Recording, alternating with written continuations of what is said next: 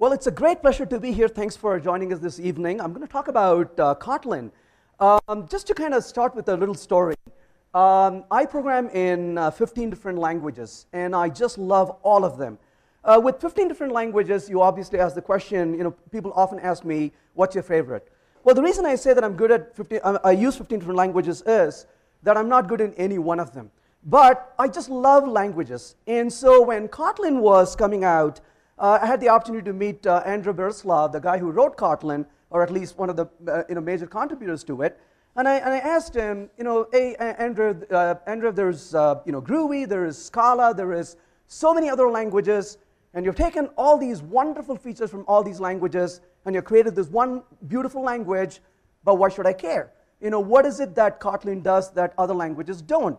And I think he gave me the best answer I could ever expect. He kind of shrugged and said, well, this is not the language for you. And I took it and said, great, I will not then focus on it. I kind of ignored it for a while. And then a few years went by, and I would keep hearing Kotlin and Kotlin, Kotlin. And one thing that was really weird about Kotlin is programmers never came to me and said they like Kotlin. They always said they love Kotlin. And that kind of intrigued me. Why would somebody love a language than just like it? And so I started really playing with Kotlin to look at it. And then, of course, as you know, a few years ago, Google made a very important announcement that Kotlin would be a first-class language for uh, Android development. And overnight, the uh, adoption really shoot up. And of course, a couple of months ago, as you know, they said it will be the first language for development of Android applications. Well, then, of course, Spring Team also started adopting Kotlin, and you can start seeing Kotlin in so many different places. And as I got really excited about Kotlin and started playing with it, I saw companies actually being intrigued by it, interested in it, so I said maybe I should pay a little bit more attention, a little bit, get a little bit more serious about it. And I do have to admit to you that I was absolutely naive because I said to myself, oh, I've written books on languages. What is the big deal? I can write about Kotlin. Biggest mistake. Because, you know, people tell you Kotlin is a much better language than Java, it's a fluent Java, and all that. I would say all that is a lie because Kotlin is a lot more than being just a fluent Java. And I started writing about Kotlin, and the little I know how much there is to write, and it ended up being the biggest book I've ever written. In fact, I'm so happy to tell you that as of today, I just finished the book. So it is actually going to typesetting. Thank you. It's, it's, it's going to typesetting as of uh, you know, a couple of days from now. So I'm so happy to get done with this. But, but it's been a really interesting journey. And one of the reasons I often write a book is, you know, people often say you write a book because you know stuff. Well, actually, honestly, I write, because I, uh, write books because I want to know stuff. And, and of course, that, that, that's been a really good experience learning this beautiful language. And that's what I want to talk about today here, talk about what's Kotlin. Well, Kotlin is one of those really few languages that is truly a multi-platform language. You can write code in Kotlin, you can compile it down to Java bytecode. You can compile it to JavaScript. You can compile it to Android devices, to native devices, to WebAssembly. And so it is one language that kind of rules all, and you can just use it as a common language for full stack development if you really want to. Well, it also is, in, uh, interesting enough, uh, truly a full, um, it's a multi-paradigm language. So in a way, Kotlin doesn't tell you what you should do. It treats you like an adult. And it says, you decide the paradigm of programming you want to use, and we're going to make it really simple and easy and elegant. So if you say, I want to use functional programming, it's really charming to do functional programming in Kotlin. But there are times, honestly, when we do want to write imperative style code. And Kotlin doesn't punish you for choosing that. It actually makes the code really elegant, so you can actually write imperative code, which is a lot easier to write in Kotlin than in, in other languages. Well, Kotlin is a static type language, a statically typed language, so you get really good type checking from the language as you would expect, just like programming in Java or C Sharp or C++, or even to the extent where you have type inference like modern versions of C Sharp and Haskell and stuff like that. Well, it compiles down to Java and JavaScript, like I said, but one of the cool things about Kotlin is it is extremely fluent. And once you start writing code in Kotlin, it just feels right. You're not fighting with the language. It tends to really make good sense when you write the code. It's very elegant. It is really enjoyable to write the code in this language. Let's take a look at an example to see how we can do it. So I want to start with a little example of a sample.kt. So KT is the extension for Kotlin files. So let's go ahead and start writing the code for uh, Kotlin.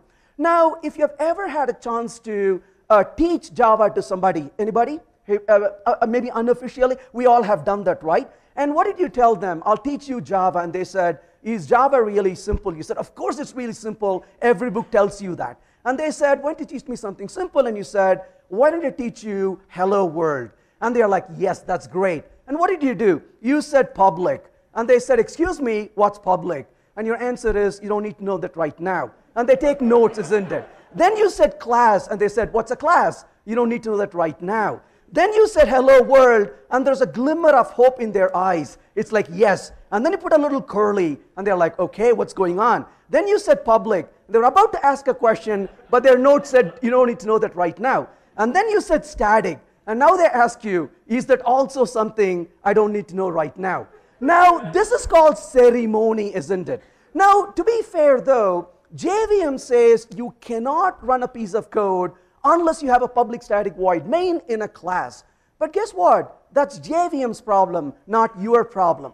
And Kotlin doesn't want to take uh, you, you to the problem. And Kotlin says, do the minimum you want to do. So what do you want to do? Oh, I want to write the main function to run the code. Well, then write the main function. How do you write it? You say fun main. And that's important in Kotlin because they want you to remember to have fun every single time you write code. So functions start with the word fun, and so you say fun main. And you realize that, you know what, I don't really have a need for the argument. Well, if you don't have a need for it, why bother saying it? You don't even have to say it. If you need it, say it. Otherwise, you don't have to worry about it.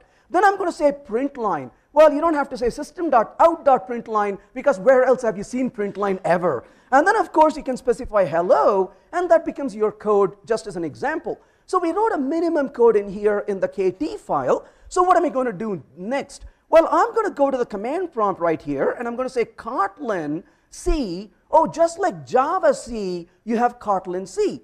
But remember, Kotlin can compile down to Java or Java bytecode, or it can compile down to JavaScript or native and so on, or WebAssembly. So you have a JVM as an option. So you tag along your target to know where you want to target it to, and then, of course, this is going to be the sample.kt file. I'm going to just compile it.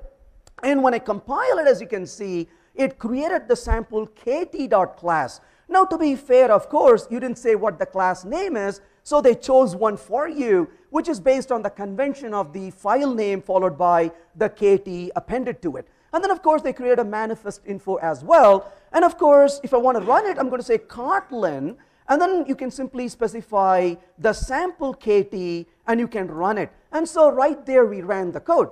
But of course you say, gosh, if it's going to be a Java bytecode, why can't I just run it like a Java program? Well, sure you can. So Java, and of course minus class path, the current directory, and then I'm going to say sample KT, and I'm running that as a Java program because we compile it to Java bytecode. And obviously, if you're going to be using something special in Kotlin library, you can say minus class path, the current directory or wherever the stuff is, and then you can append to it the path where the Kotlin standard library is, just like we include other jar files, you can bring them in as well. So this shows us that you can write the code in Kotlin, but you can compile it down to Java bytecode, and you can run it as you can see here, so that becomes really easy.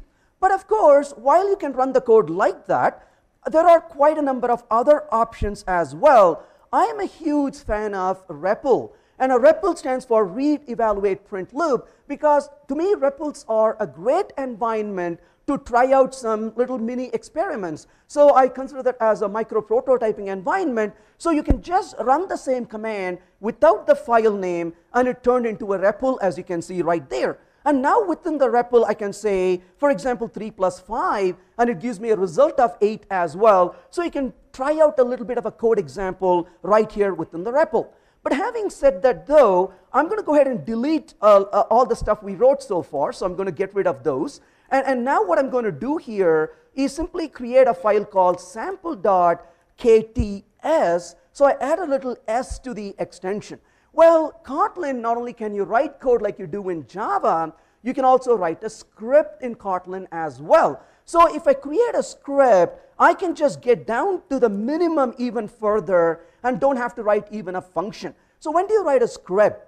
Write a script if you want to do some really small task. If you want to build an enterprise application, create the traditional files and compile them. But for little things, we often do little system operations, you can write them in Kotlin. Well, the benefit is you don't have to run, learn different syntax and different shell commands for different operating systems. You just write the code once and you can run it on multiple operating systems as well. So that becomes a script. With one simple difference though, oftentimes among some programmers, the word script has a negative connotation. They frown at us when we say we write scripts.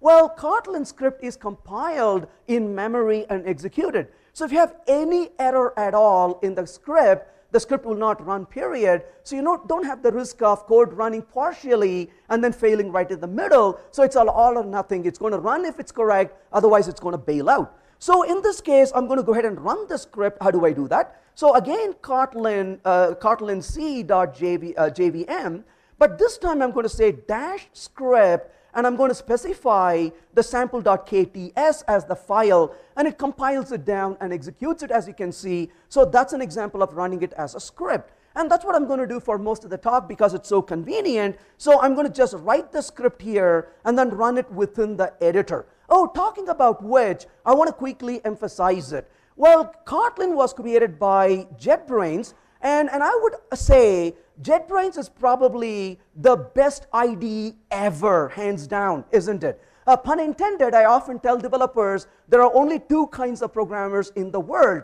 those with idea and those with no idea. So, so I really love IntelliJ and I want to be honest about it.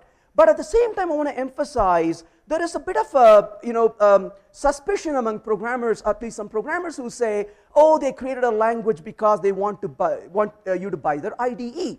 And that's why I want to emphasize I'm not using IntelliJ at all here. You don't have to use IntelliJ to do Kotlin programming. I mean, I hope you do, but you don't have to. That's a choice you make, which is independent of the language you choose. And as, as you can see here, I'm not using IntelliJ. I'm just using a plain editor. And you can run code with an editor. You can write code with an editor. You can use any ID that you want to use. Uh, Kotlin doesn't force you to use any particular ID or a particular editor. And so you can choose whatever you want to choose. So right there, I've written a little piece of code and I executed it within this as a script. So we saw the ability to write the code and compile it and execute it. We saw how to run it as a REPL as well. And then, of course, we saw how to run it as a script. So let's move a little further uh, from there. Well, a few nice little things in Kotlin. Well, the very first thing in Kotlin is semicolon is optional. I mean, you saw that a minute ago. I did not put a semicolon in the very end. Semicolons are absolutely optional. So when you start programming in Kotlin, your right pinky actually shines a little bit because it's not doing that stupid you know, semicolon over and over. So it can actually be used for more useful purpose. So you don't have to put a semicolon. Now, obviously, you may ask the question, is, is that such a big deal? And I would say it is huge because when it comes to creating DSLs, and Kotlin is a really good language for creating internal DSLs, it's a beautiful language, but semicolons disrupt the flow oftentimes. So if a language eh, requires putting semicolon, it's not as suitable for creating DSLs as you would a language which doesn't require that. So from that point of view, I think this is brilliant. Well, secondly, it gives you sensible warnings. Well, Kotlin believes in failing fast and failing early. So if you have a piece of code that it suspects may lead to a confusion or an error, it gives you a warning pretty quickly. And, and for example, if you have a variable you have not used in the code, it'll give you a warning that you're not using that variable as one example. So one of the things I follow in development in general is this principle of treating warnings as errors. So I often configure my build system, my continuous integration system or Jenkins to fail if there's a warning. So in the case of Kotlin, you can run it with a minus W error option. So if there were a warning, the build will actually fail. So you can actually fix that and move forward and make your code a lot more reliable. Well, Kotlin also has a really healthy dose of type inference. So what is type inference? When you create a variable, you can create a variable, for example, like this. You can say string is equal to hello, and then I'm going to print the value of greet, as you can see right in here. Now, obviously, the greet is a string because we defined it as a string. But at, the, but the same time, though, notice how we define this variable. We did not put the type and then the variable name. We reversed it from the Java point of view because Kotlin wants to emphasize the variable names are absolutely important. You know, how many times do you see where, uh, people do a string and this beautiful variable called x? And if you tell them not to use x, they use a p or a k or a w. It's insane. Well, Kotlin wants you to think about good names for variables based on the context, based on the domain. And the type is secondary compared to the variable name. Now, in this case, if I were to say greet is equal to 1, I want you to notice the error that you are getting at this point. Ignore the first error that you see up here because the first error is complaining I cannot modify greet. But look at the second error in the bottom. It says error, the integer literal does not conform to a, a type expected. Well, keep that in mind for a minute. Now I'm going to go back to this code right here, and I'm going to remove the type information from here and execute the code. Now, what is the type of greet? Make no mistake, at compile time it knows the type of greet is a string. And that is basically type inference. It looks at the context and determines the type for you. So as a result, if I were to go back here and say greet equal to 1, notice the error that you get is exactly the same as before. It says the integer literal does not conform to the expected type string. So it is type inference. And so as a result, you don't have to waste your time saying what the type is when it's absolutely obvious. Not only can you use type inference for local variables, you can use type inference for function return types if the function is relatively small, that is, it's a single expression function. If a function is really large, Kotlin doesn't want to infer the type, not because it can't, because it doesn't want to, because it can be really confusing for the developers to know what the type is. They emphasize that you provide the type. Similarly, I think that Kotlin doesn't go overboard. What, you know, I'm a huge fan of language like, languages like Haskell. Don't get me wrong, I love those languages. But one thing that scares me in Haskell is Haskell will infer the type of your function parameters if you don't specify that. And I'm not really a big fan of that particular feature because I consider the interface of a function to be sacred. I don't want the implementation to vary the interface. So Kotlin says, you know what, you need to tell me what the parameter types are so they don't go overboard with this idea. Now, having said that, how do you define a variable? You can define a variable, for example, max equal to 1000, and I'm going to uh, print out the value of max over here, and you can see the value is max. But if I say max equal to 1000 one more time, notice the code gives me an error. And the error says that I cannot assign or reassign to a val. So val is much like our final. But it's much better than final because if you're programming in Java, if I want to know what your variables are final, that's very easy. I just grep for final. But if I want to know what variables are not final, how in the world do you grep for what doesn't exist?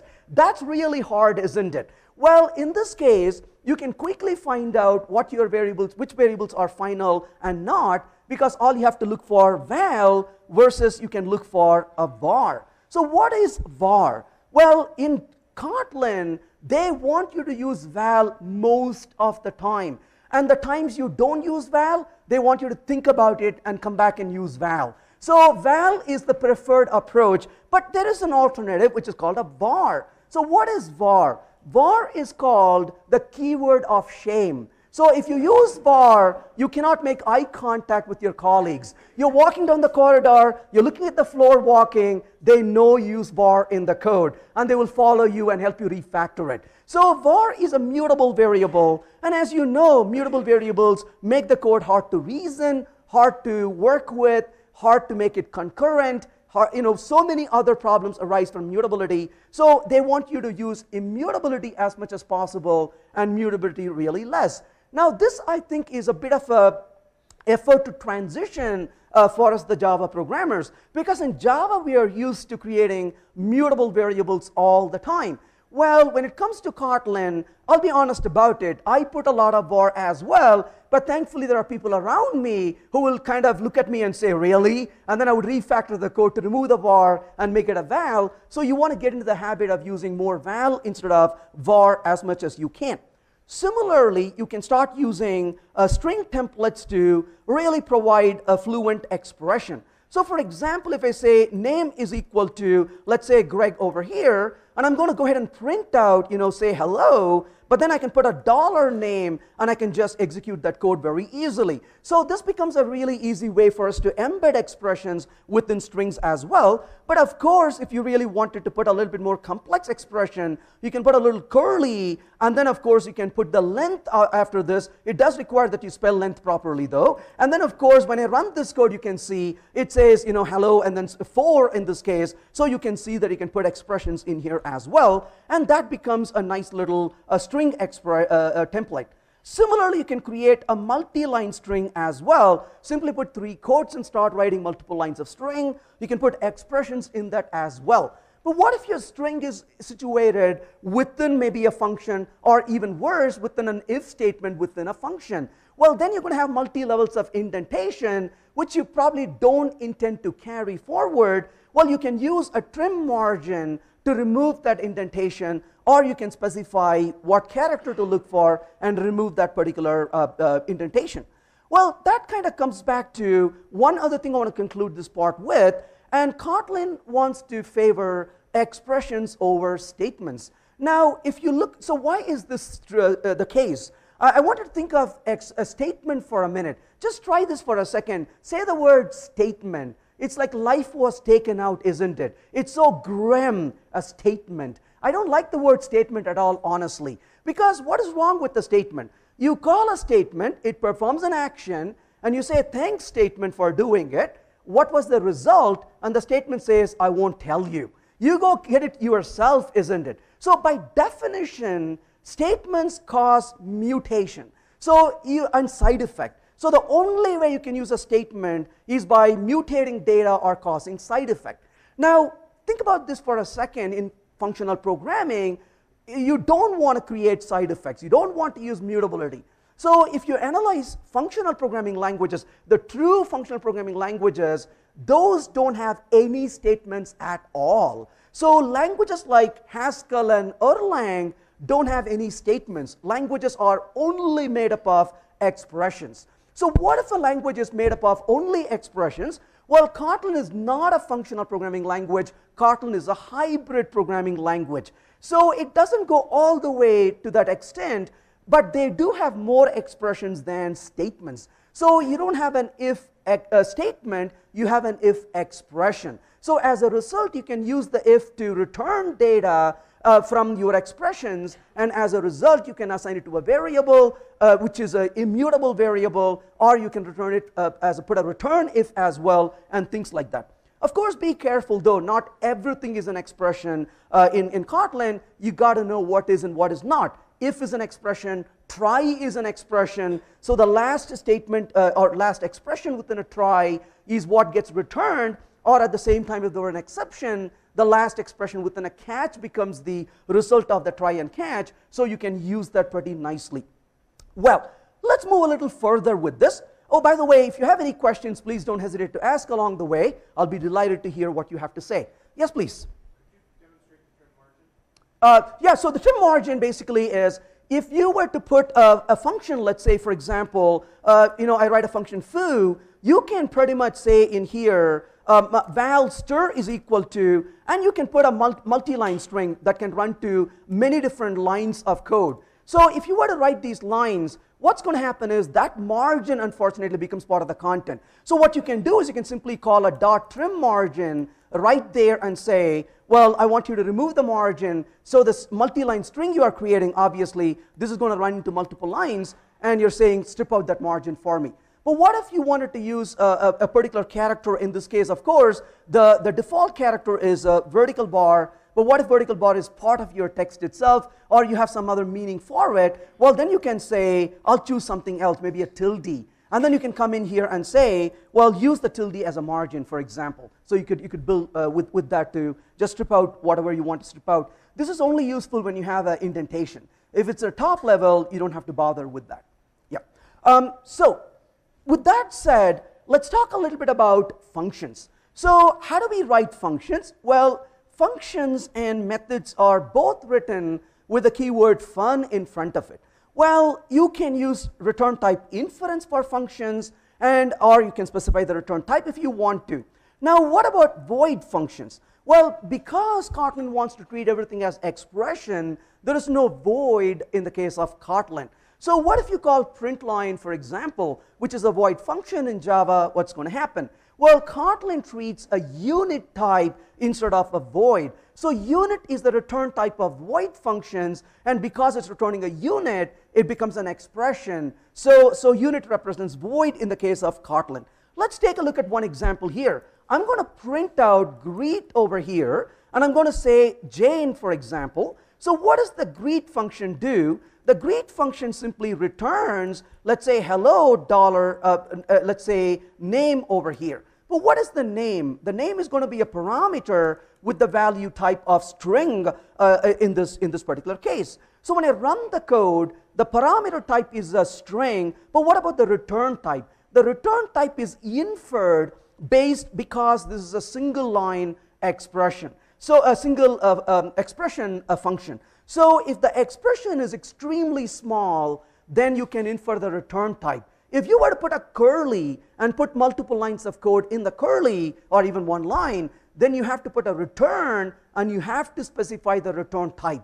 If you don't say the return type and use a curly, then it becomes a void function, a unit returning function. So you can either write the code like this, as you can see, it inferred the return type to be a string, and just to illustrate the point, if I were to say val result, which is a string, again, you don't have to say string here, it can be inferred, and I'm going to just print out the result right in here. And as you can see, the code actually is quite fine. But if I change this to an int here, you'll get a compilation error, obviously, because the return type was inferred to be a string. You cannot assign it to an integer, obviously, and that gives you an error. But of course, you can entirely leave that out, and the type inference kicks in all the way through.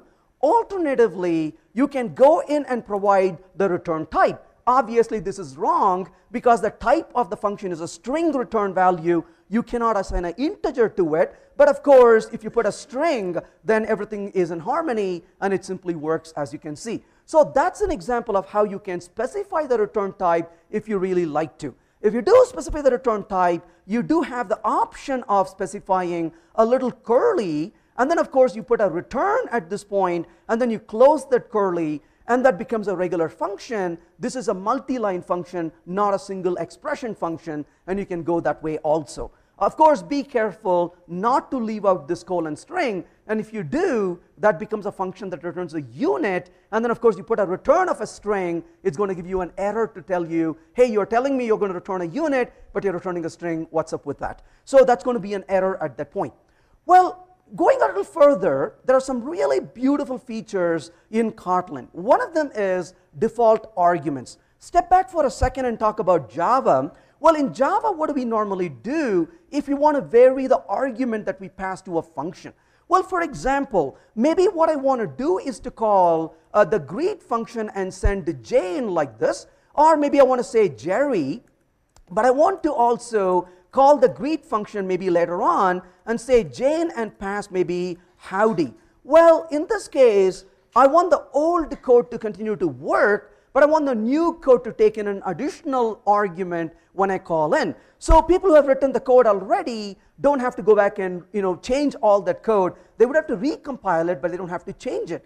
Well, but how do we do that? Well, you can achieve this by using what is called a default argument. So you can say message colon string, and you can say equal to, and you can provide a hello, if you will. And then, of course, you can then write the function to say, this is going to be the message that I want to use. So existing code is going to continue to work, and the new code can pass in the new value to this particular function. So what you can do is to provide additional parameters with default arguments to this particular function.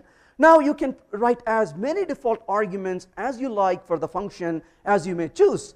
But if you do, this is not just a default value, this is actually a default expression. So for example, you can go back to this code and you can say hi and then you can put a dollar, for example, name.length. And this is a really geeky way of saying hi-fi uh, to Jerry. So you can run the code that way also. So an argument can actually use the uh, parameters to its left if you really wanted to. And this gives you quite a bit of flexibility as you can see in writing the default argument. So the default argument is actually an expression, not just a value. And that is the power you get out of, out of this. And that's pretty uh, powerful to extend the ex existing code to introduce default values. Uh, but I have to say, one of my favorites is the named arguments. Now, why is a named argument so important? Well, one of the things we carry about a lot is readability of code. And when you're reading the code a lot of times, you're probably not reading the code when you're having a great time. You're reading the code because you're not sure what the code is doing. And, and the worst way to write a code is to make it really cryptic where the programmers take the beating and the suffering. So if you look at a function like, for example, let's say create person, and the create person takes a name which is a string, and then it has an age, which is an integer, and height, which is um, integer as well. And then it got a weight, which is an integer. Now, because, and of course, all I'm going to do here is simply say print line, let's say called for a minute. Now, real, uh, sorry? Uh, okay, so let's fix it. Are you happy now? Okay, so, so let's, let's go forward here. So in this case, of course, when I, when I take this particular code, um, notice it gives you warnings. That's what I wanted to show you first. Uh, it tells me I'm not using name, I'm not using age, and so on. Well, that's the warning coming in to tell me, hey, are you not supposed to be using these? What's up with that? Well, let's go ahead and put the name really quickly here, age, and then maybe the height value, and then of course the weight as well. And of course, it's not going to compile, uh, complain anymore. But then I'm going to call the create person, and I'm going to say Sam, comma, maybe I say 12, and I say something like 100, comma, 50, now, if you were to come in and look at the code, clearly this is not going to be in front of you when you're looking at this code because the code is defined someplace and used in another place. And you look at this code, and I am absolutely sure this is going to cause you some frustration, isn't it? Because you look at this code and say, what in the world do these 12 and 150 mean? Because we don't have a clue what these numbers mean in this particular context. Well, this is not a good way of writing code because it increases cognitive, cognitive load for the programmers. Wouldn't it be so great to say age is equal to 12 and then simply say, for example, weight is equal to 50, comma, height is equal to 100. Just to emphasize, you can put them in any order you want to put them in. So when I run the code, of course, it becomes very expressive. And just to illustrate, I did not put name equal to Sam. You could have. So you are absolutely able to mix and match things. You are able to put the positional arguments and then suddenly switch over to using named arguments. And if you had maybe a default value of some sort here, maybe you say 50 is the default, guess what? You can even leave that out if you really wanted to. Nothing, nothing stops you from doing it. So you can start mixing and matching all these ideas. I do have to say, this is among a lot of other things, this is one of my favorite features. For example, when it comes to using coroutines, I, I, was calling the with context function, and the with context function literally can take you know, three or four different arguments. And, and the problem is, I know what arguments it takes, but I'm not smart enough to remember what order to pass them in. So guess what? I can just give the name equal to value and be done with it. And I don't have to give all of them because every one of them have default values. So I can pick and choose what I want to provide and I can easily get away with writing minimum code and I can come back and change it really easily. So that becomes really nice to work with as well. So absolutely a really wonderful feature. You can mix and match it. Similarly, you can also write a function with var args. So you know var args in Java, it's a very similar concept here in Kotlin. When you create a var arg, it synthesizes an array of the type. And then, of course, if you want to pass to a var arg an array itself, you would have to use a spread operator, which is an asterisk, and explode that particular collection and pass it. So I'll pass, uh, pass that particular idea here because it's a lot similar to what we do in, in Java with a few variations. Yes, please. Um, so you put a star to spread it. Yeah, so just a star to uh, ex explode it. Yeah.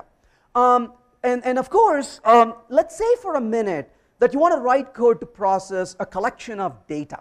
Now, let's, you know, I would say I really like functional programming, and, and I, I'll admit that. I love to write code in functional style. But at the same time, I want to say there are times when I do want to write imperative code. And I don't want the language to force me to do it one way or the other. I want the language to treat me with respect and say, you, you know, you make your judgment and we'll work with you. Now, not only does Kotlin allow me to write imperative style code if I wanted to, they don't punish me for writing it. They make it really fluent. So let's take a look at an example of how we could be writing this. So I want to do a really small uh, for loop over here. So I can say for some variable x, and I'm going to say in 1 to let's say 10, and I'm going to simply print out the value of x right in there. That becomes a range, and I can iterate over the range of values. Notice in the output, the output does include the value 10 as the result. What if you don't want the 10? What if you want to stop one shy of the value 10? Well, then you can say until 10 like this. And when you run the code, you can see it does not include the value 10. Now, that worked, but I, that leaves me a little unhappy because the code is a little noisy. And I want the code to be fluent. I want the code to be, you know, one of the things I care about a lot when I, when I work with programmers, when I do code reviews, I often tell programmers the most important line in your code is the blank line because the blank line gives a breather. And I always tell my developers, if you put a blank line, that's how you show respect to the reader of your code. When people write code like there's no tomorrow, uh, that is really hard, isn't it? You start reading it and your blood pressure keeps going up. And, and this is a great research project, actually, if you want to, somebody wants to do it. Hook up medical devices to people as they do code reviews and see how they feel about it, isn't it? So to me, a little space gives me breather. And I'm like, ah, this is, feels good when you're reading the code. Wouldn't it be nice to say a space until and not having to put that stupid parenthesis around it and you can run the code? Sure enough, you can do that as well. Not only can you do that on, your, on this code, you can do this on your own code as well because all you have to do is create your functions as what are called infix functions. I'll talk about this more when we talk about fluency later on, so I'll come back to that, please. Bingo. It's an until is a method. Oh, it's a beautiful question. Until is a method on integer. One, one of the things I want to emphasize, uh, and um, thanks for asking that because Kotlin does a lot of stuff for you, and an immediate concern among programmers is, oh my gosh, we're going to incur the auto boxing overhead. We're going to have poor performance if we do this. And this is the brilliant part of Kotlin. What they did is that until is an extension function on integer. It's not a function, it's not a method, it's an extension function. I'll talk more about extension functions later on, but at compile time, what they literally do is util is a static method in your package where it's defined in the uh, standard library. So technically speaking, what happens is it turns into a 1 comma 10 at, at compile time, so you're not incurring an overhead. At the bytecode level, you have no boxing overhead because that's still a primitive integer, not an auto-boxed uh, integer. So, so, uh, so that's why those questions are extremely important. Uh, in fact, I'll mention this as a good exercise to do, and that's what I decided to do in the book as well, uh, is to, at some points in the, in the book, I pause and generate the bytecode, and I show how the bytecode looks, and I encourage programmers to actually do it. Because when you're looking at a Kotlin code, it looks so fluent, you, you, you doubt that it's going to be good in performance. my recommendation is compile it in bytecode and take a look at it. I, I guarantee your mind will be blown because they actually pr preserve performance at the same time give you fluency in your code as well. So, so absolutely uh, wonderfully done. I have the deepest res respect for what they have done to uh, provide that kind of flexibility. So, so that's what is happening in this case is that it compiles down to a, a, an extension function.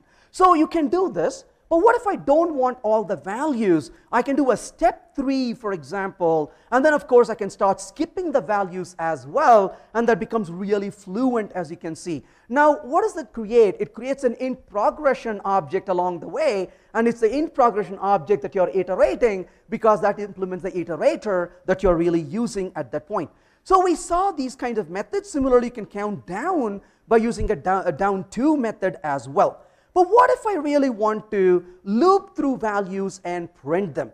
Well, let's give it an example here. Suppose I say names is equal to list of Tom, comma, Jerry. And I want to iterate over uh, Tom and Jerry. Uh, you know, this reminds me of an experience I had. I'm not even kidding with you. I called the support line and I said, may I speak to Tom, please? Without missing a beat, this guy said, Tom is out at lunch. I'm Jerry. May I help you? Seriously, I hung up. I mean, what are the chances Tom and Jerry work together in a company in support? This is, this is a conspiracy, I think. But anyways, coming back to this code, I'm going to say for name in names, and then I'm going to simply say print out the name right there. Now notice the elegance of it. We're not doing i equal to 0, i less than, and then stop and ask the question, is it less than or equal to? You don't have to do any of that. But having said that, we do want the index from time to time.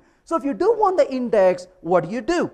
Well, if you really want the index, you can go to this function and say with index, and you can call a function that gives you the value with the index. Now, obviously, what is it? Well, that's going to be called an entry, and I'm going to go ahead and print out the entry value right there. So good news, you got the index value along with the value.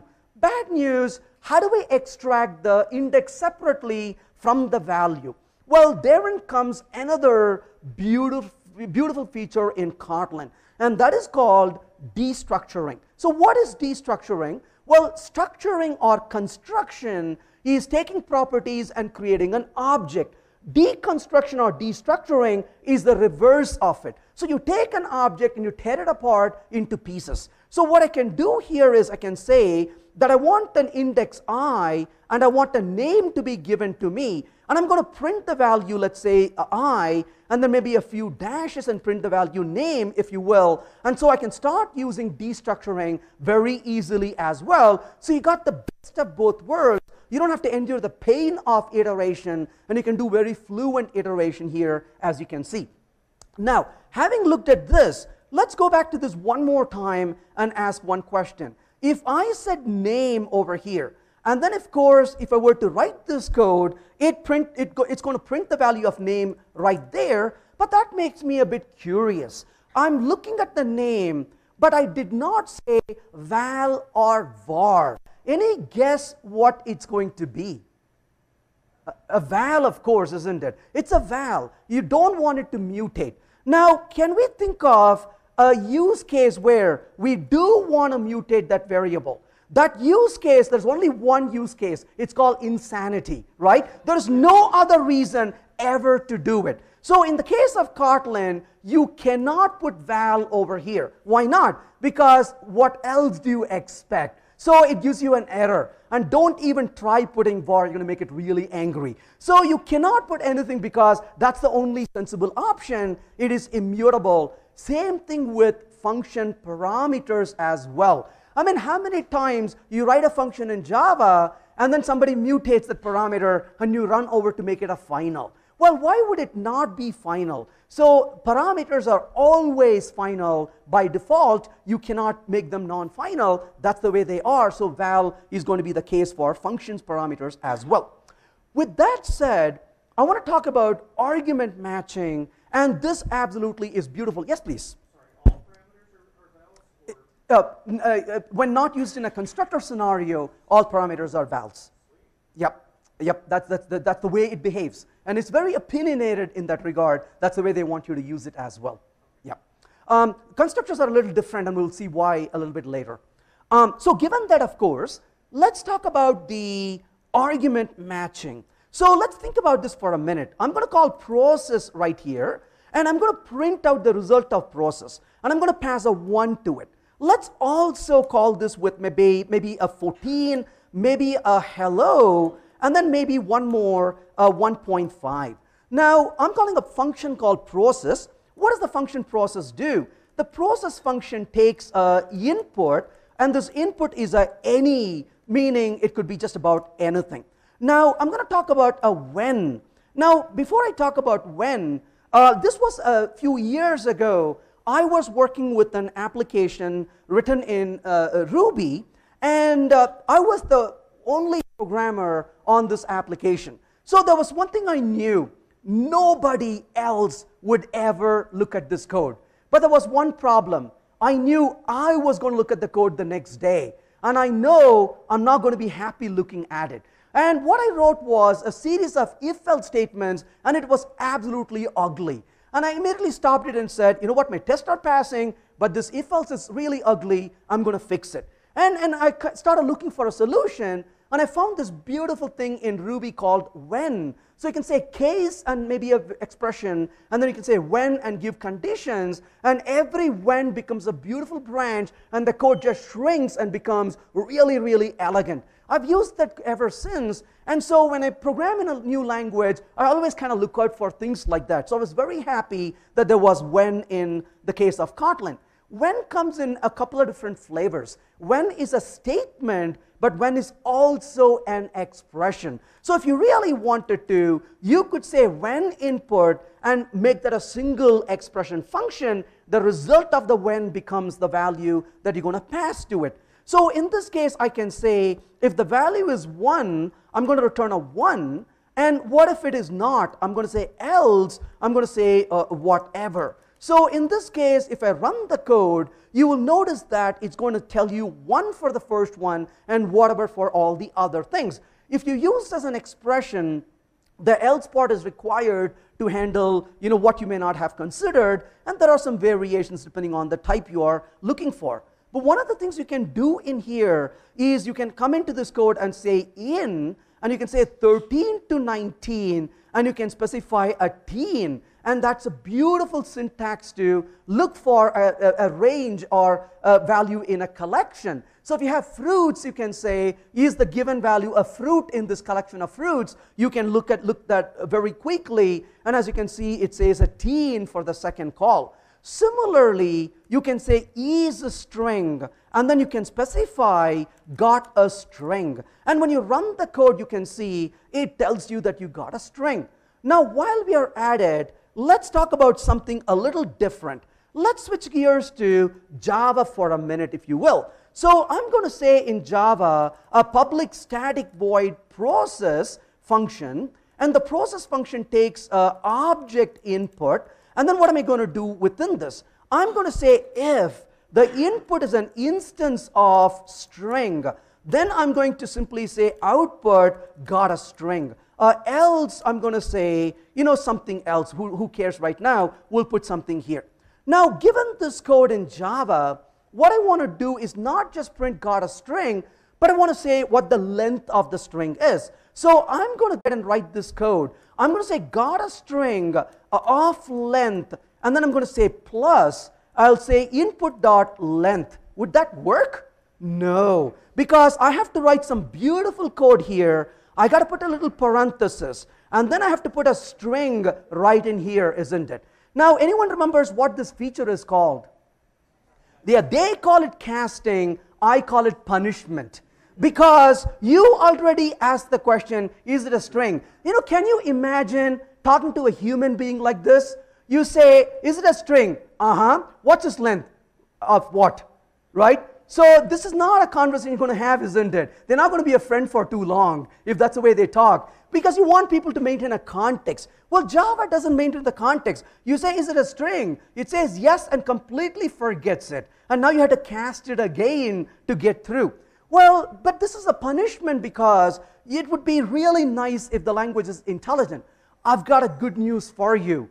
Java is going to change this in the future. Just don't ask me when. But it's going to happen. And when Java changes, here's what you're going to see in Java as well. What I'm going to show you here as a feature called smart casting. So what you can do is you can go in here and say a dollar input dot length and you can say length right here got a string of length and then you can simply Uh, use a smart casting. Now make no mistake you cannot do input dot length anywhere that you want to. So for example, if in this case you had said a string and then you had written the code like for example val result is equal to for example and then you put this when block right here when expression right here and then when you finish it off here if you were to come in here and return let's say this particular value let me try to work my way through this and I'm going to simply say return result at the very end of this so when I run the code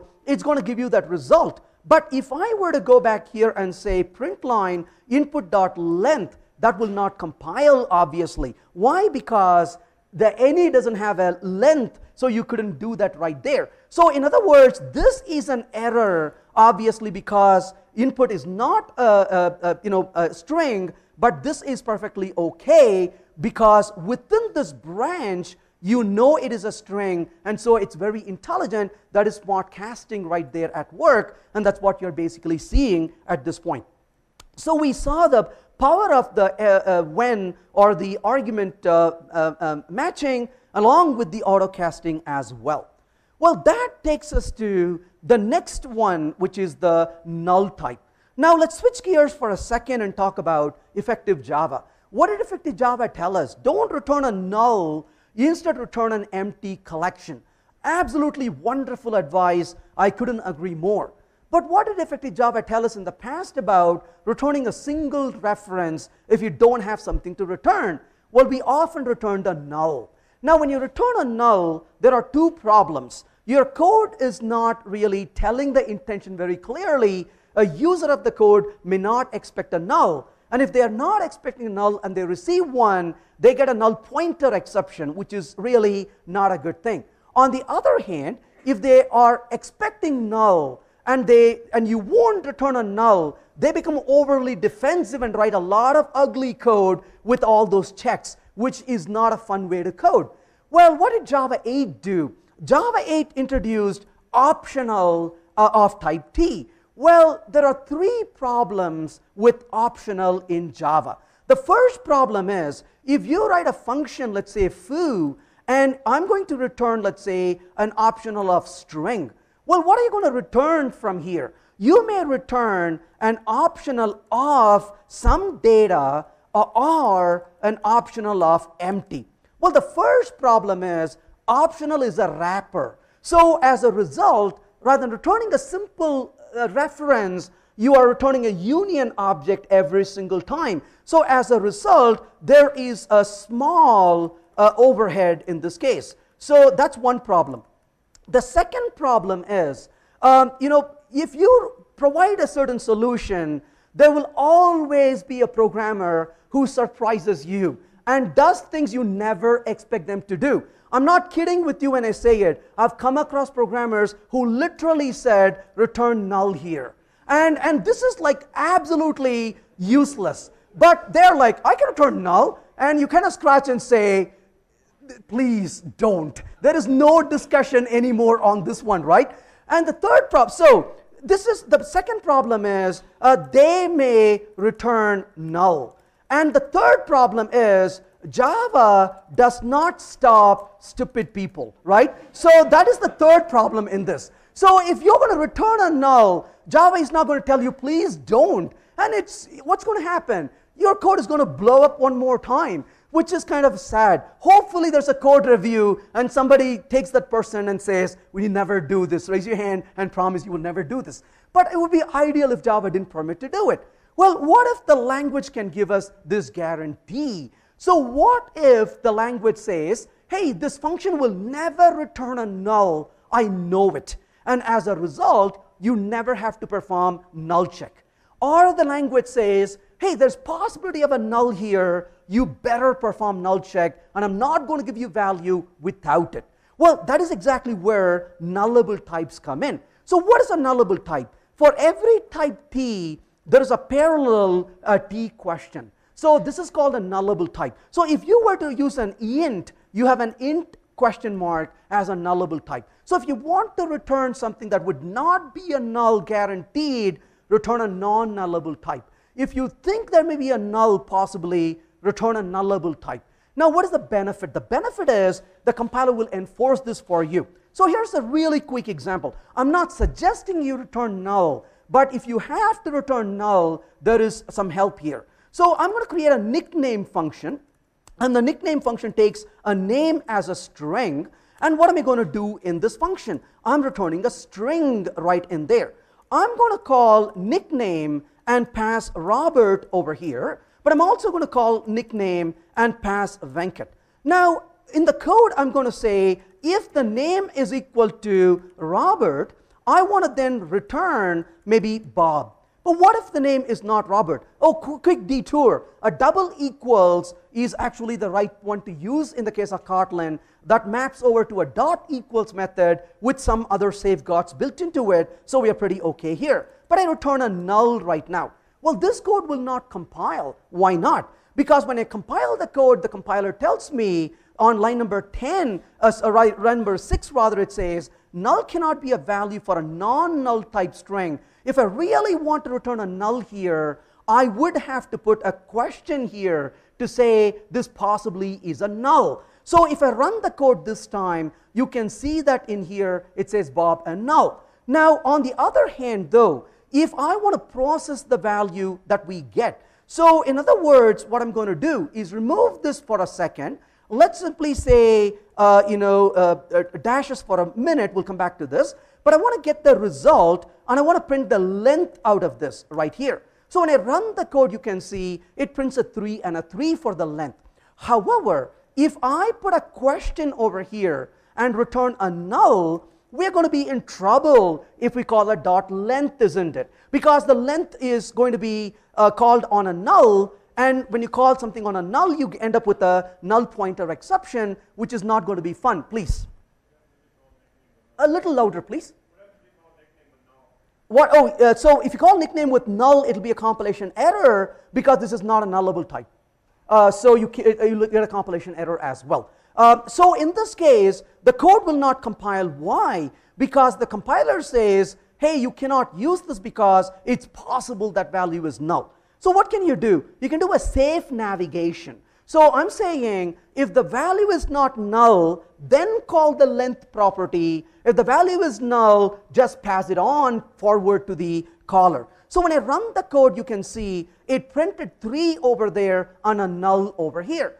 But of course, you may say, gosh, I don't want to print a null. If the nickname is not there, I want to return a 0 as the length. Well, sure, for that you can use a colon. Notice you used a colon dot as a safe navigation.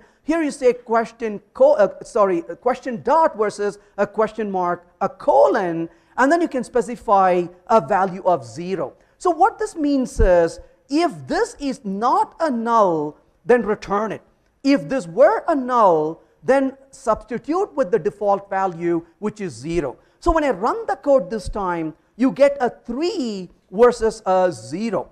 Now, this operator has a special name. That name comes because somebody had a weird imagination and a lot of time to waste. So if you want to tilt your head this way and look at it in, uh, uh you know, uh, your head slanted, what you're going to see is beautiful eyes over there. And this is nothing but the hairstyle of Elvis. So this is called the Elvis operator. Trust me, that's what the, somebody thought about it. They called it Elvis operator. Well, it's as cool as Elvis, isn't it? So it prevents this null pointer uh, exceptions and it also gives you a substitute value. So this is a very safe navigation. One final thing to go back and talk about what you asked a minute ago. If I were to call nickname and pass a null to it, I get a compilation error. And of course, the error because you're not allowed to pass a null for a non-nullable type. If you put a question mark right here, then that is perfectly fine. You can pass a null, but within your code, you got to be careful about it. So if you're going to get something from the parameter, for example, name.length, if you're accessing it, you no longer will be able to do it. You will have to say a question dot and be defensive about it as well. Now, having said that, I want to mention just, just for a minute. Now, once again, going back to your earlier question, you know, are we really posing a problem here in, uh, uh, in, in, in performance? Well, this is another thing I'm truly appreciative of what Kotlin did. So if you generate a bytecode of this code and take a peek at the bytecode, you'll be surprised. In the bytecode, this will appear as a string and this will appear as a string as well. So they wipe out the non-nullable uh, nullable types at compile time. So the bytecode is the same bytecode as you would generate in Java, except the JVM bytecode is amazing in terms of its capability. Imagine you have a bookshelf and you have books in your bookshelf. But what you can also do is you can take a post-it note and put it on the bookshelf itself and you can do some annotations. Well, bytecode is exactly like that. A bytecode contains a Java bytecode, but it can also carry metadata on top of it. Think of these like post-it notes. So Kotlin exploits these metadata so when you go to a function, you will see the Java bytecode along with the metadata. Obviously, this metadata is not known to Java compiler because Java doesn't have this concept, but the Kotlin compiler knows to look for it. So as a result, when you call this function from Kotlin, the compiler will look at the metadata and say, aha, that's a nullable type versus a non-nullable type, and do the proper processing for you but you have zero runtime performance overhead because once the bytecode is compiled, it's bytecode running. There's no overhead associated with nullable and non-nullable at all. So you have no uh, uh, you know, a difference in terms of what the code is going to run at the time of running. So that is an example of how the nullable uh, types work. And one quick note, autocasting works in this regard as well. What does that mean? Well, if you were to take a nullable type and then I say nullable type, let's say val, let's call it as foo colon nullable type uh, of some type nullable. If you say when foo, if you were to write a null and put an arrow, then you take whatever else, guess what? Here you don't have to use a question dot because if you come to this path, compiler knows it's not a null already. So as a result, you don't have to really be defensive because the auto smart casting works just fine. Question, please.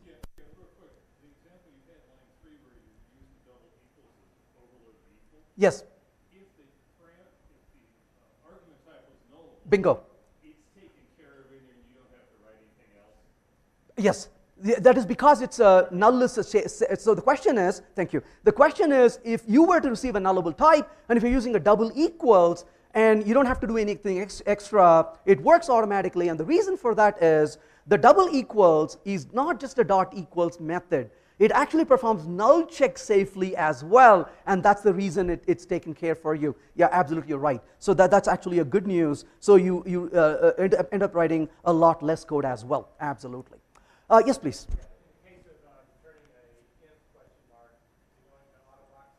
So the question is, in the case of returning an int question mark, is going to auto box it? Uh, no, because uh, actually um, it is extremely smart to fall back on primitive types uh, almost everywhere possible. And, and uh, this is one of the nice things about extension functions is they turn into a static method. So, so it's a language actually built with this in mind. Uh, and don't get me wrong, I love a lot of different languages. Uh, but in the past, when I've seen languages do something like this, uh, they went the route of auto boxing. And Kotlin not only learned from the good things about other languages, they learned from things were not done really well in the other languages. And so they actually took the time and effort to make it really performant. And, and, and that is one thing that's very important to keep in mind is that almost every corner you turn, you get the benefit of the language, but without compromising the runtime performance. And, and they've really taken the pain to really do that.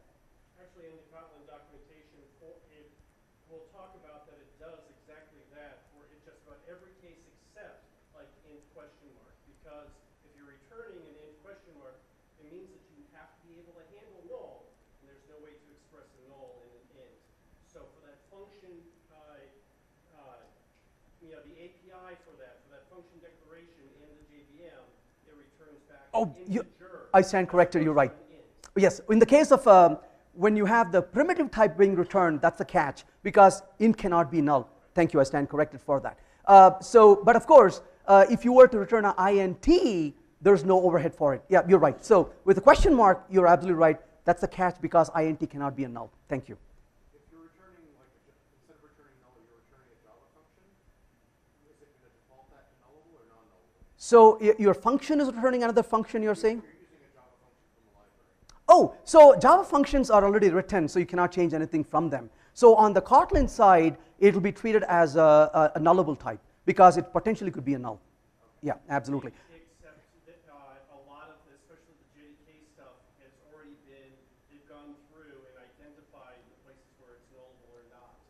So in most cases, If, it, if, it's, if it's annotated as a not null, yeah, and so they've already gone through for most of the standard Java library and done that work. Right. But if it's your own Java library code, yeah. Exactly. Yeah. Okay. So moving a little further, um, what about function, uh, functional style? Well, Kotlin provides you as much of functional style as you would like to use. So in this case, of course, you can create lambdas, and the way you create lambdas is a lot like you do in Java, except use curlies instead of the parentheses that you normally use. It feels a lot like writing it in Groovy. So as a result, you could use, for example, it as a variable if you have a single argument. Not only that, you can use method references as well if you really wanted to. So for example, if you were to say, let's say uh, values is equal to uh, a list of, let's say 1, 2, and 3, you can say values dot, let's say for each. Well, in this case, you could specify maybe the value that you're getting, you could say print the value out, and you can ask it for the value to be printed out at this particular point. Alternatively, what you could do is simply say, well, it's a single argument, why don't I just simply say an it? And you could use an it in its place as well. Or alternatively, what you could do is simply get rid of this whole thing and you can use a function reference as well. So for example, a println right here, and then as a result in this case, it simply uses that. So you can kind of vary based on what you really like to do. Similarly, you could use a filter map and reduce. If you want to write a functional code, you can write functional code as well with that. So a few different features that I want to quickly mention here. Well, when it comes to lambdas, there are some flexibilities. If the lambda is the la last argument, you don't have to put that into parentheses. You can keep it outside, just like you can do in Groovy. So these co concepts are you know, pretty much uh, you know, prevalent in Groovy. They've kind of made use of these uh, features. Uh, but one thing that really blew my mind in the case of Kotlin is that you can actually define lambda expressions, uh, receivers of a lambda expression as an inline. And if you define it as an inline, then instead of making a call to a lambda, the lambda gets expanded right at the call site. Now, clearly, there's benefits to it and, and pros and cons to it. The benefit is you don't have a runtime overhead. The, the disadvantage, of course, is your bytecode becomes bigger in the place we are calling. So when do you use it? Well, a couple of reasons to use it. If you're going to make this call a millions of times and the performance is really critical, you can consider inlining it. As a bonus, you can also do return from within those lambdas because now that they're expanded, when you return, you return from the exterior function. So return can only be used when you have functions that have inlining, and there are a few rules uh, surrounding that. You can take a look at it. Uh, yeah, please. Uh, you can assign them to variable, and if you do, you have to say what the type is. So in that regard, suppose I say, uh, in this case, val, and I'm going to say is even. Uh, well, there are a couple of different ways you can handle this. Uh, one way you can handle it is you can say that this is an integer, and then of course you can return from this n mod 2 is equal to 0, and then of course you can call the is even and maybe send a value 4, if you will, uh, to perform this computation. So, so in this case, you can say this is going to be an even value that you're going to re uh, receive. And remember, you should use a curly, not a, a, a parenthesis or, a, or, a, or a, yeah, parenthesis. So in this case, that becomes your uh, lambda that you're passing, and you got to say what the type of this is. That's one way to specify the type. Alternatively, what you could do is you can also say val is even, but then you can say that this is going to receive an integer as a type, and then the result is going to be a boolean at this point, and then, of course, in that case, you can simply say even it mod 2 is equal to 0, and then that's another way you could write it. But you, you need to say what the type is if you're going to assign it to a variable because there's not enough context to determine the type at that point. Um, so, with that said, what about classes? Well, before we go to classes, let's talk about extension uh, functions. So, what are extension functions? Well, it's a little weird. In the case of Kotlin, you cannot inherit from classes unless the classes are open. So, by default, classes are final. But you cannot inherit from it, but you can add methods to existing classes. Well, to be fair though, they don't actually do bytecode injection. Instead, they turn these into static methods that get called. So as a result, you're not really compromising any of the you know, encapsulation boundaries of the object in any way. So let's say for a minute, I have a greet is equal to, and I'm going to say in this case, hello, and I'm going to say print the word value for greet, and you can see in this case, the greet gets printed. But what if I want to say shout? Well, obviously we can agree that if you're meeting a friend after a long time, you definitely don't want to whisper hello, you want to shout. Well, sadly, that method doesn't exist. I think it should really be part of the JDK. But what if you really want to add a shout method? Well, you can simply say over here a string, well, first of all, function a string, and I'm going to call it shout, and simply implement the method like the way you want to. So uppercase, for example, and then when you run the code, you can see it is going to print that in uppercase. So you can start adding methods to uh, classes as well. But of course, what it's going to do is to turn this into a static method. And the static method should be in the context of your import. So whatever package or level where you uh, injected this particular method, it's got to be imported for you to use. If you don't import it, this won't be visible. So once you import it, it becomes available. And of course, the compiler will rewrite it as a static method. How do you qualify which one? Yeah, so, so a couple of uh, uh, small details. Uh, if there is a, me a, member function of the class, then it always takes precedence. It will not really use uh, any of the uh, uh, um, extension functions at that point. if you do have a conflict between the two, then it's going to win over depending on which one you're importing. And uh, you know, in the worst case, you may get an error. In the best case, it may win over one of the uh, overriding uh, function, uh, extension functions, but never compromise a member function. So like no, you not, no, no, you can't do that. Mm -hmm. and, and, anything that returns or infers a string, you can call shout on that within what you get. Yeah, yeah, because you added to the string class itself in this case. So as a result, as long as that's visible to you, you can call a shout on any string. Yeah, absolutely. Yeah. Mm -hmm. uh, uh, you cannot over, uh, over, you mean override it. You cannot override it because it's not part of the class. Uh, you can add parameters to it, yes. Um, I'm not sure what, uh, like you have an existing function, you're another one. yeah, it's because it's basically a static method you're writing. It's not conflicting at that point. Yeah. But, but you cannot override it though. So if you're inheriting from a class, you cannot override it because it's not a member function. It's a static function. As we know, static functions are not polymorphic, so you cannot uh, override it. But, but overloading is fine. But again, you should use a judgment whether it's a good idea. It can be, become confusing. Yeah. Um, so in a sense, what's happening is if you have more parameters here, so for example, you want to say a, a, level, and again, assume that in this case, uh, you have a shout as a method in the class for a minute. Then you can say level, but obviously the way this actually works is this actually becomes the uh, first argument and the level that you're going to pass to it becomes a second argument. That's the way it actually works. So it, it, that's, uh, that's not a problem. Yeah. Um, so with that said, uh, like I said, it's not part of the class itself. What about creating classes? Well, like I mentioned earlier, uh, classes are final by default. Unless you put an open, they don't become available. But how do I write a class? Well, this is a minimalistic design here. So I'm going to go ahead and say OK. And you can see that the code doesn't have any problems with it. So you don't have to put a lot of ceremony into it. I'm a big fan of this approach because I believe in writing test and writing code. So when writing uh, test, I don't have to fill in an object with unnecessary things when I don't have enough to do. So I can start small and start moving further.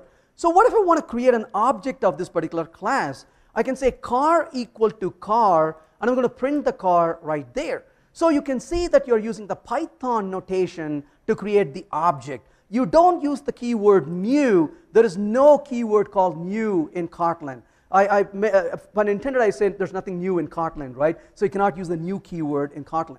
Well, but you can create the object much like it's a function, so that actually makes it easier to create uh, fluent syntax like DSLs that can become a lot easier.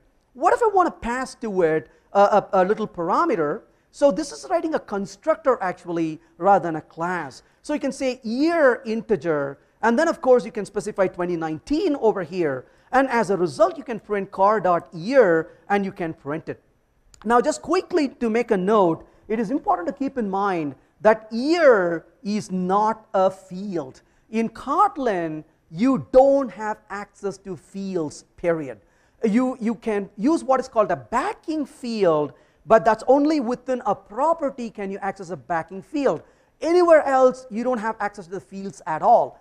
These actually are properties. So if you were to compile this to bytecode and take a look at it, this call right here becomes a call to get year. So it is not a year field you're accessing, it's a property that you're actually accessing. Well, this is a read-only property. So if you say year equal to 2020, you get an error because you cannot mutate a val, you cannot reassign to it, so that doesn't allow you to do that. On the other hand, well, before we go further, as far as properties are concerned, they are a lot like C sharp properties. So in C sharp, you know how you can create properties, and of course, you can have a backing field created in C sharp. This is very similar to that idea. So this is uh, very much like C sharp, except they've gone a little bit further with a few other things. So for example, if I were to say var, and in this case, I'm going to say color, and this is going to be a string. What I can then do is, when I create this object, I can say blue as a color for this particular car. So if I want to print it out, I can print the color value right here, as you can see, and that becomes a color. But color is mutable because you said var. So if you really wanted to, you could go back and notice that the color is blue when it prints out. But what you could do is you can say car.color is equal to, let's say, orange. And then, of course, in this case, the color becomes an orange color. You could do that as well. But similar to this, when you write things like this, these become properties right off the bat. So right now you have a read-only property called year and a read-write property called color. But what if you don't want a property, you just want to pass some initialization data? Well, then don't put var in front of it. Simply call this as initial color, if you will, and that's no longer a property. You cannot access it. So if I were to run this code and say car.year, you are able to get the year of the car, not a problem. But what about the initial? Ignore the warning just for a minute. What about the initial color? You cannot say in here car.initial color because that's not a property. So that is just a parameter passed in for the constructor. So now what you can do though is you can say car.color and you can print the color wherein the color could be a var color is equal to initial color. So right now the color becomes a mutable property in this particular case. Now what if I were to say print line car.color, but in this case I'm going to say car.color is equal to a red. And as you would expect, the color can be mutated, and as a result, it can change its value quite easily as well. And so the value is being mutated. Though it started with the value initially as blue, you're changing it to a red. But of course, what's the benefit of doing something like this? What if I send an empty string, for example, or something that shouldn't be given? Well, what you can do then is you can say get. Well, this is a little bit of surprise here. You don't put a curlies like we do, so it almost feels like writing Python for just a minute. Now, you don't have to put the indentation, but it's a convention. It's good to have indentation. So you can say get over here, and this is going to be a value, and you use the word field. So the field stands for the backing field I talked about. So similarly, you can say set, and that takes a value, call it whatever you want to call it, a string. And what do I do within this? I can say field is equal to value, and I can set that value right in there. And as you can see in this case, the value was blue to begin with, but I modified that to an empty string. But what if I don't want to permit that? Well, pretty easy. You can say if value is, uh, is, is uh, let's say, equal to empty string, or you can use a trim, if you will, to make that uh, much better. Then what do you do? You can say throw, and remember there's no new, so you say throw runtime exception, for example, and then you, you can say you passed an empty, you know, how dare, you can threaten the programmer. So you can pretty much throw an exception disallowing that, and of course if the value were something else, you can permit it, otherwise it blows up on your face and gives you an exception, please. So here the get and set methods are linked to that by proximity. Use that come after it. Uh, it's actually not quite as a proximity. It is every property has a backing field. And as a result, it refers to that property's backing field. And, and if you are in another property, you have to use the property to get the other property, which is actually pretty nice because you are en- engaging polymorphism to get it. So if the property were to be overridden in a derived class, you're still accessing it through polymorphism, so that works really nicely. Uh, so that's why you are, you are not allowed to access that field from the outside. So they're kind of encapsulated pretty nicely. Uh, of course, if you do generate the bytecode from Java, you can you know, do whatever you want to do, whereas within here, they kind of protect it. Yeah. Um, so that is about properties and the backing fields of properties, we talked about it. You can make the setup private as well. And of course, if you do, you cannot access this from the outside. So you can say that uh, you can read my property, but I can only change it from within my class, from not from outside the class. You can do that as well. So you can uh, you know, have setters internally for that. Um, Kotlin quite doesn't have static methods. So if you really want to come close to static, you have to create what are called companion objects. A companion object is an object, a singleton you create within a class. If you're familiar with Scala, the ideas are very similar to what's in Scala. So the companion object becomes part of your uh, a, singleton for your class, and then the methods are part of the companion. So you use the class name to access it, but it gives you an illusion of static. Just a quick side note, if you do want to access them from Java, you won't be able to because they're not static methods in Java. Well, in that case, you can use an annotation called JVM static, then Kotlin will create them as a static method. So in other words, Kotlin thinks that you're writing code to use within Kotlin itself, which is true if you're writing Kotlin to write Android applications, for example. You're going to write predominantly code in Kotlin. You don't have to create Java-specific bytecode for use from Java. But if you do plan to intermix with Java, you got to throw some annotations so that Java will be able to integrate, uh, you know, uh, co Java code will be able to integrate with Kotlin code properly. Uh, data classes are another beautiful things. Data classes are intended for creating classes that are more of for representing holding values of data. But what is the benefit of creating a data class? Well, you, you get one and buy a few things free. You get the constructor, you get a copy function, you get also a deconstructor available for you, the equals method, the hash code method, and a pr pretty nice uh, written uh, toString method. So class car, for example, year integer, let's say val car is equal to a car, and I'm going to say 2019, and I'm going to just print out the car right in there. So as you would expect, the car prints that information that you see here, which is going to be the value. Well, what if I wanted to uh, you know, print out some more details? I can say data, and when I run the code this time, you can see from the output that it is going to be a data class. Oh, sorry, pardon me, I forgot one thing here. No wonder it said val year is not being used. Well, there you go. It's a field, right, a property right now, but that's an ugly output. But instead of mark it as a data class, now you can see that I get actually a fairly nice output of the year. Well, the toString method is at play here. Similarly, equals and hash code and copy function. And of course, uh, you're also able to uh, make uh, deconstruction very easily for this. Destructuring works really well also. Um, quick note about inheritance. Uh, inheritance, as you know, is the weakest link in object-oriented programming.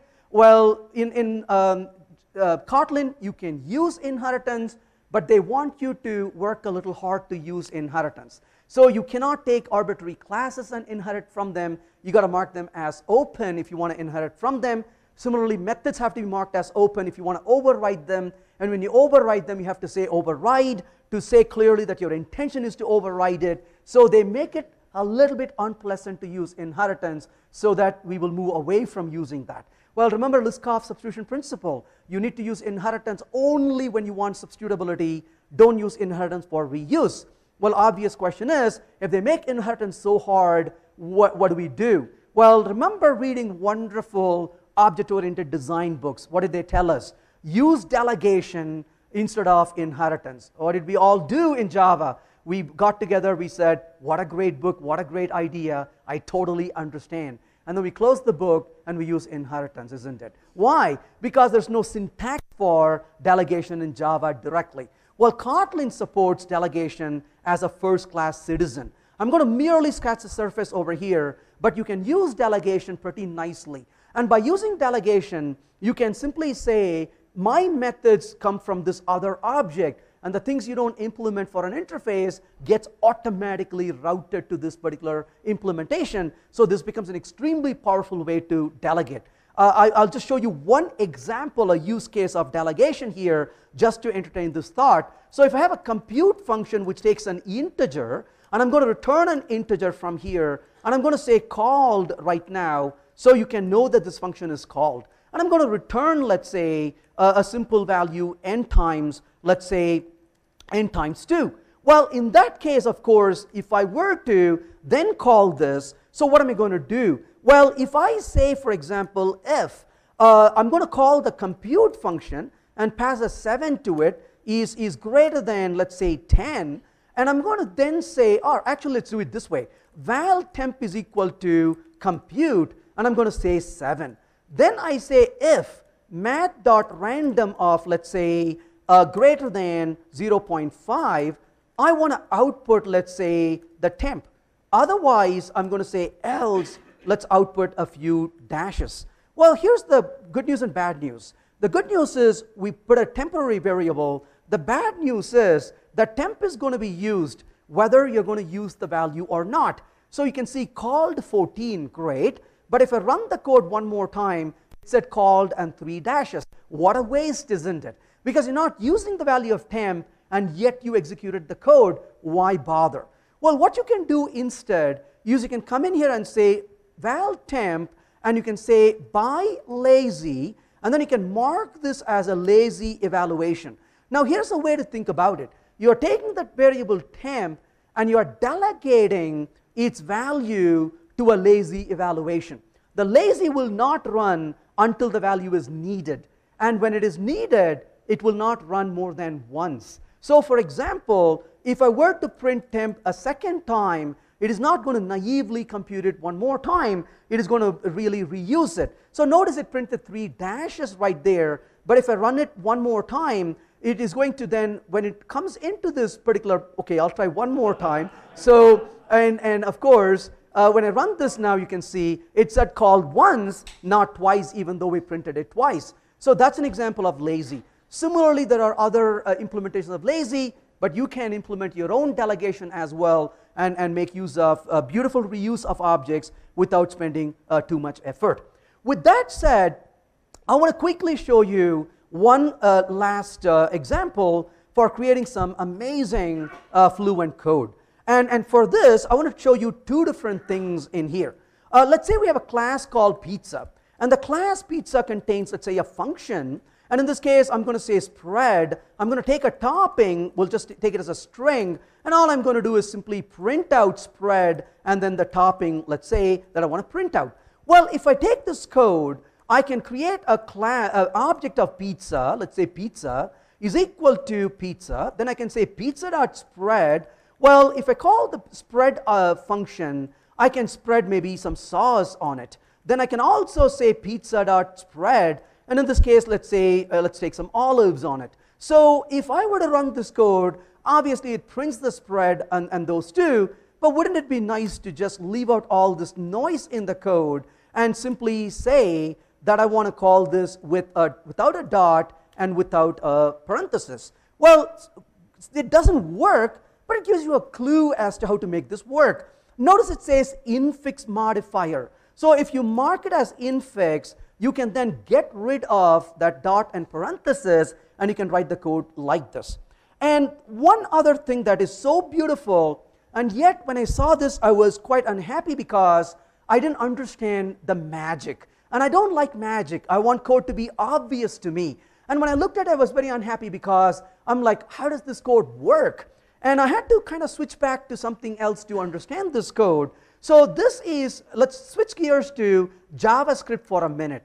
In JavaScript, if you have a function called func, you can do the following. You can say func and you can call with the value 7, or you can call func and you can do a call and send a context object and a 7. The context object you pass in JavaScript becomes the this within the function. So in other words, in JavaScript, you have this wicked feature. You can take an arbitrary function and make it a member function of your class. Now, that concept exists in JavaScript.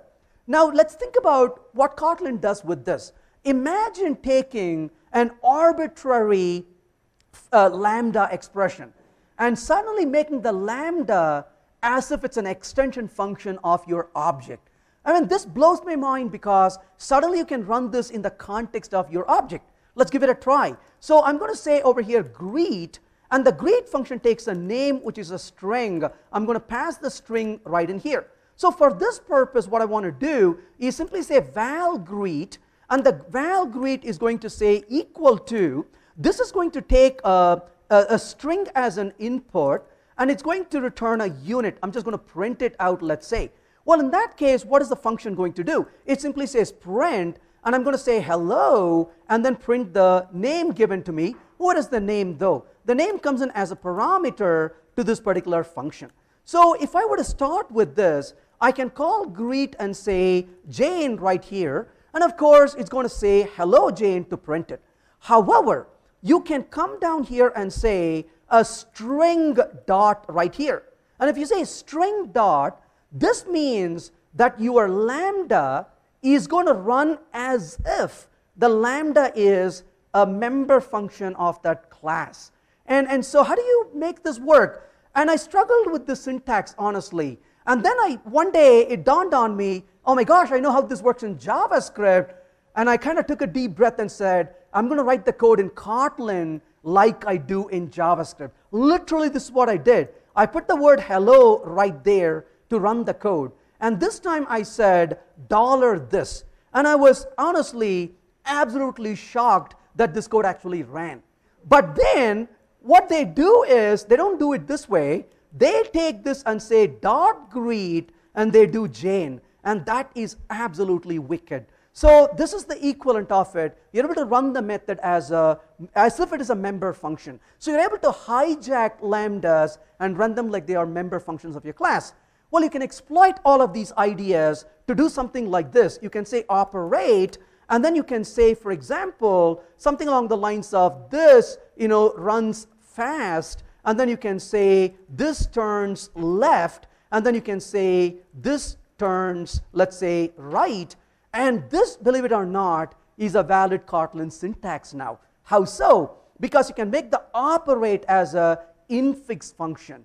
Now, what about this context object? Well, that could become the context object you pass in using the dot notation we saw, or you can simply replace this as it runs le uh, turns left. Well, in that case, of course, that becomes the argument you pass to it. But what about the left? That could be a variable in a context object, which you can pass it as a receiver, so that uh, type dot dot, and by mixing infix, by mixing it, by mixing lambdas, and by mixing receivers, you can write very fluent code like this, and you can be on your way to write a completely statically typed, uh, verified DSLs as well. And, and so I'm a big fan of metaprogramming. I'm a big fan of writing DSLs, but one thing that blew my mind in Kotlin is not only can you write very flexible DSLs, but you can also get compile time verification as well. And that's a big bonus because when you write the code, you're not just hoping the, the user typed it properly.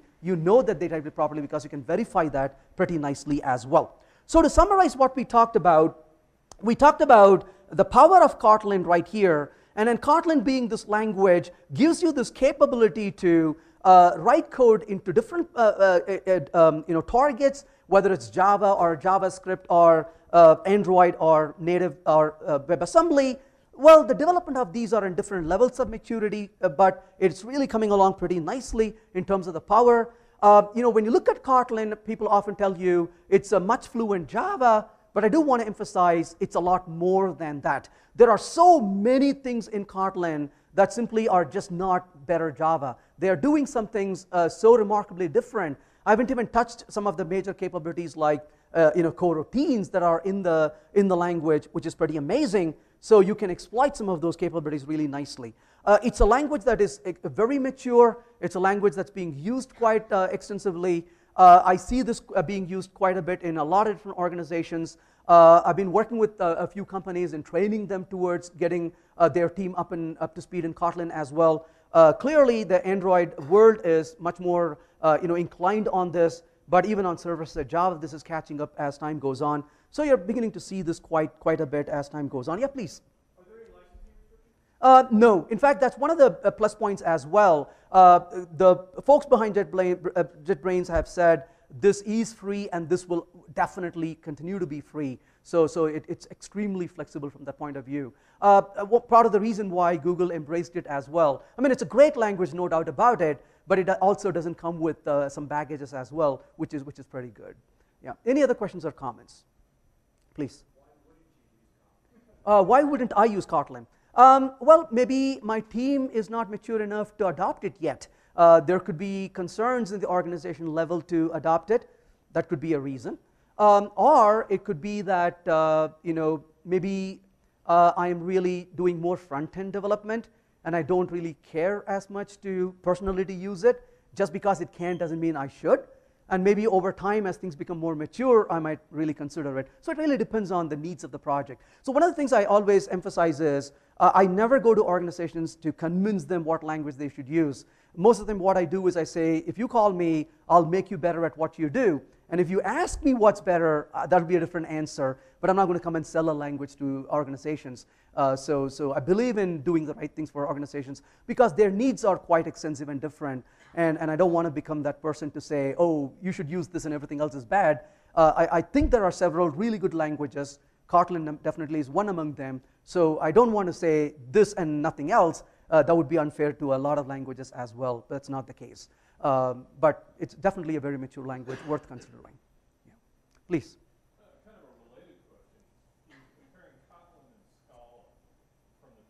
This topic is over. Can we go home now? uh, I, I, try not to do that in general, uh, mainly. Usually, I don't answer these questions, especially when I'm being, being recorded, uh, because there are other consequences to me answering such questions. So I'll be more than happy to talk privately, but I'm not going to answer that right now. Yeah. yeah. Please.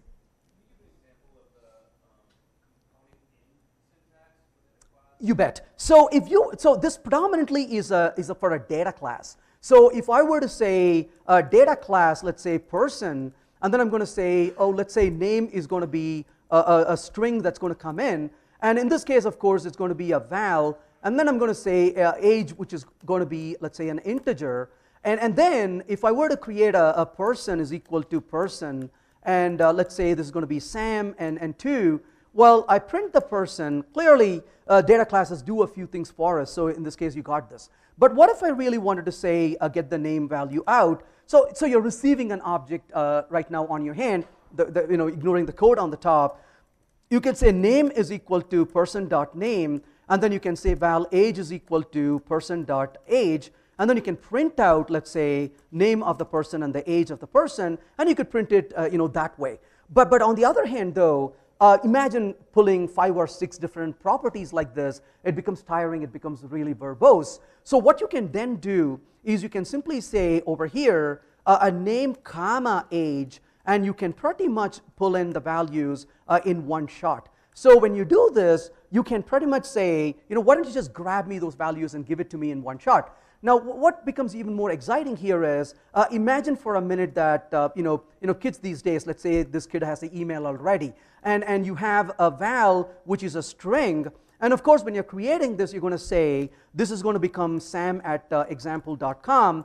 Well, if we run this code, you have pulled the name and the age properties, obviously. However, let me remove the print over here so it doesn't get confusing. So you brought the uh, age and, and, and, uh, and value. But what if you want the email? Well, you can come back and add the email right now. And as a result, of course, as you know, you are able to pull the email. But obviously, the question is I don't care about the age. What if I don't want the age?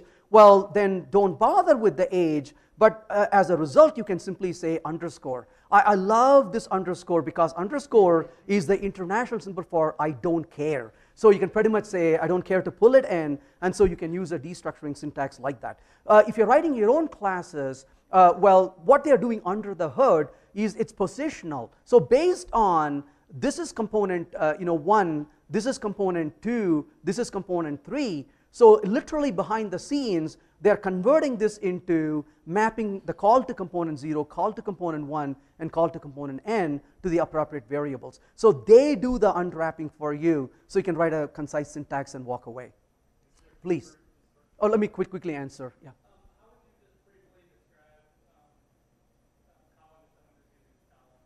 Uh, say that again for me. Yeah, like the way I described to him, not on camera. Yeah, please. I used to work with Google Web Toolkit, which was pretty popular for letting you use the benefits of strong typing, but running in browser. Right? Is Kotlin being used that way as well? Um, Because of JavaScript? So, so clearly you are getting the benefit of static typing, uh, but I would say that's I wouldn't say extensively being used uh, compared to you know where it's being used in Android. I don't think it's as extensive. So it'd be unfair to say it's being used extensively. But there are people who are using it. You're getting the static typing. Uh, but I wouldn't put it to a, stretch of imagination saying it's extensive at this point. That could change in the future, but that's not quite, uh, quite right now. Uh, so by using the names itself, not to my knowledge, no. Yep. Uh, what are some of the drawbacks to Kotlin? Well, some of the, uh, it's a learning curve, right? Uh, and let's be honest about it. Uh, people will tell you it's easy to learn. Um, it's relative. The language has enough of capabilities in it. Um, so if you're going to start using Kotlin, you will get uh, you know, into it very quickly and say, yeah, this is great. I'm going to start using. Look, this is much cooler than Java. But then you start realizing there are enough differences. And then you start realizing that there are enough features that we don't even expect to see in a language like Java. Um, I, I, don't get me wrong, I love these features. But, but I'm a language geek. I spend my time on this, uh, a lot of time on this. Uh, but if you consider a team which is doing predominantly Java, there is a learning curve, and you have to go through that learning curve and, and, and be ready for it, right? It's not like you're going to just you know, roll over and start coding in Kotlin tomorrow. Everything is going to be too easy. You have to take the time to learn. That, that's one disadvantage you have to go through. Um, and, and to me, that's probably the only thing I can think of, right? There's nothing else that limits you from using that just be realistic about it. And as long as you're realistic about it, you're not overselling it. And that's one of the things we should be careful about because if somebody oversells it, and then when people find that there are issues to cope with, then it becomes disappointing. But if you set up a stage properly and say, it is great, but here are nuances, and you need to take the time to learn this. Uh, and, and, and a lot of times, what happens when languages become mature is that's exactly what happens. People kind of get infatuated with it, and they jump on it, and they say this is the best thing since sliced bread. And then they, once that initial honeymoon is over, then they begin to realize that there is, you know, steps to climb, and, and they are not happy with it at that point. Uh, Kotlin has less of it, but still, it is there. So you need to be ready for that. Please. How come there are generic used in Java? Oh my goodness. Uh, we can speak, speak for another two days. Um, I love what they have done. So, in terms of generics, first of all, two things. One is you have reification built into the, the language. So, reification works only with inline functions. So, you don't have to pass a class object to functions as we do in Java. You can just say reified, and then you can do uh, uh, uh, you know, checking for the type, and you can do casting for the type as well. Well, clearly you cannot do this in Java because of type erasure. Even in Kotlin, you cannot do that without reification. But the minute you say reify, the compiler will then uh, know the type at compile time and expand the code because it's inlined. Uh, secondly, uh, uh, Kotlin has a beautiful feature for both covariant and contravariant. Uh, I do have to say, this goes back to his question. Uh, this is where the learning curve is. Um, in the book, I caution people several times. I say, stop reading now, take a walk, take a, take a breather, get some coffee, and then when you're clear minded, come back and sit down to read this section because it's going to hurt your head. Uh, it is complex. And, and with covariant, and then you can do uh, declarative uh, you know, variance, and you can do uh, use site variance. It is quite complex, but very powerful. But by doing that, you are able to create data structures which know how to handle uh, uh, compatibility. Uh, for example, I have a collection of base. Can I send a collection of derived or not? Well, Liskov substitution principle says you shouldn't. Well, here you can actually clearly define when it can happen, when it, can happen, when it cannot happen. And, and so they've given a really powerful set of capabilities, uh, but I would say you have to take the time to learn that. It's, it's not easy. I would not classify that as uh, walk in the park. It's going to take uh, several iterations to get comfortable with it.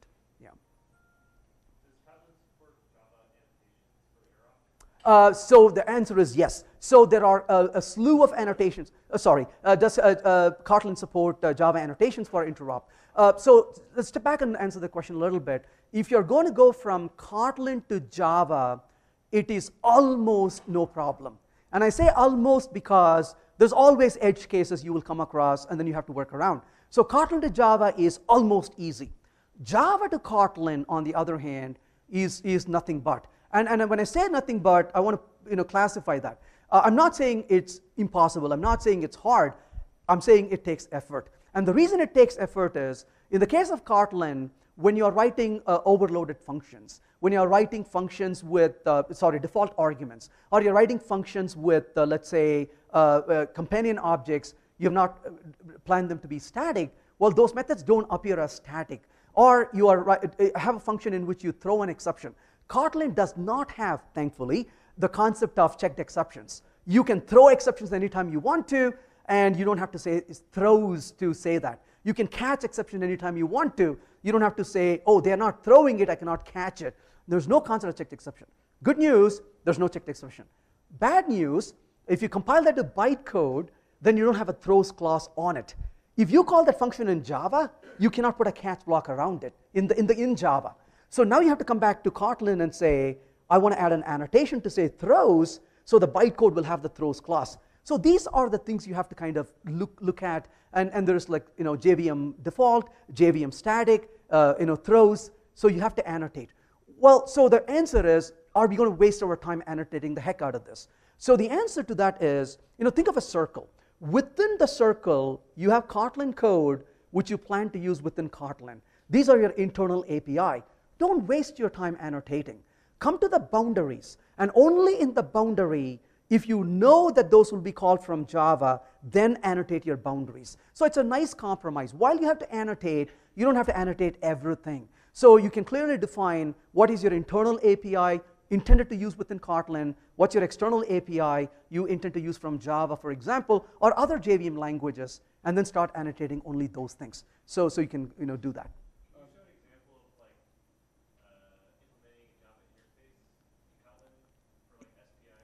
Yeah, so you can definitely uh, do that fairly easily. So interfaces are written in a very similar way. You don't use the word default to write default methods. You're basically, basically writing interface. But if you're going to implement an interface, all you do is you say class, my class, and then you put a colon and say interface to implement the interface, whatever, my, my interface, right? So you're, you're basically using the same syntax for inheritance, extends versus uh, implements. There's no separate keyword for it uh, it's pretty straightforward, so you can implement it uh, you know, straightforward uh, uh, like that. And of course, when you implement multiple interfaces, you're going to face the consequences of that. If there are method collisions, you have to resolve them and, and such things. So it's pretty straightforward. Um, we're running out of time. We still have to tear down the room and head over to the house to do door prizes. Can we limit it one more last question if, you, if anybody has one? And you just asked, you said, can we? And the answer is yes. So that was the last question then. Okay. Thank you.